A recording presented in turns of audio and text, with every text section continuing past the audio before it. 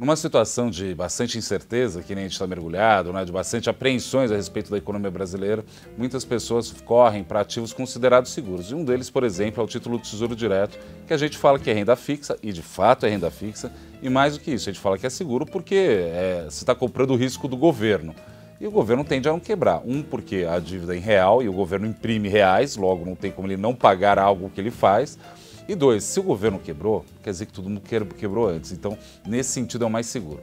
Mas mesmo um ativo conservador como esse, né, se você compra um, uma LFT, né, por exemplo, né, uma, uma LTN, melhor ainda, pegando é, um título pré-fixado, né, esse título ele rende X% no vencimento, mas daqui até lá ele oscila muito. Então, assim, você vai ter aquele rendimento, se você levar até o vencimento, esse título, mas como ele oscila muito ao longo do caminho, se você precisar sair, você pode perder muito dinheiro, não é pouco dinheiro, você pode perder muito dinheiro.